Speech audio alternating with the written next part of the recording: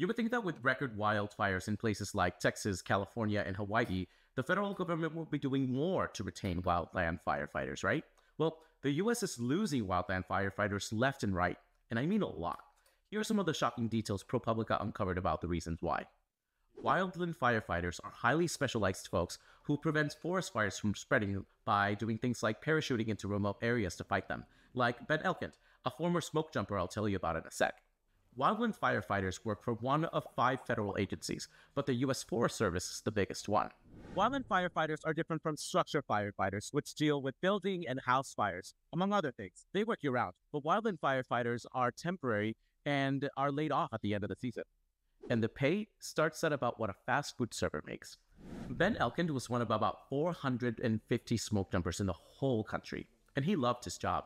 But can you guess how much he made in 2021? About $43,000. And that was after about 700 hours of overtime and hazard pay that season. And these are modest hours compared to others. Even permanent employees at the Forest Service are at $15 an hour, and that's a recent increase.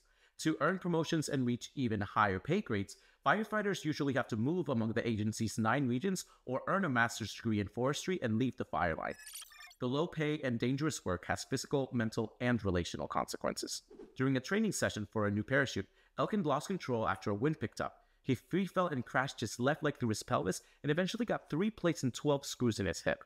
He didn't file for workers' comp because he said it was hard to reach his caseworker and because the Forest Service offered him a temporary office job, which was helpful, but in Oregon's housing market and with a young family to take care of, it was still tough to make ends meet.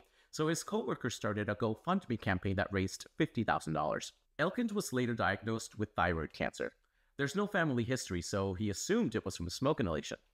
Even though officials have long expressed concern, the fire service finally acknowledged an explicit link between cancer and wildland firefighters in 2022.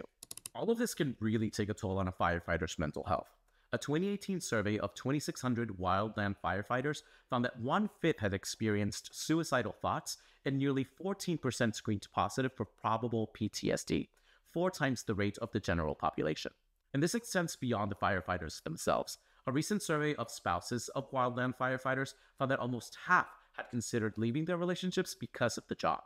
Elkind went back to smoke jumping in 2023, but left his position in 2024 to become an assistant captain in a hand crew.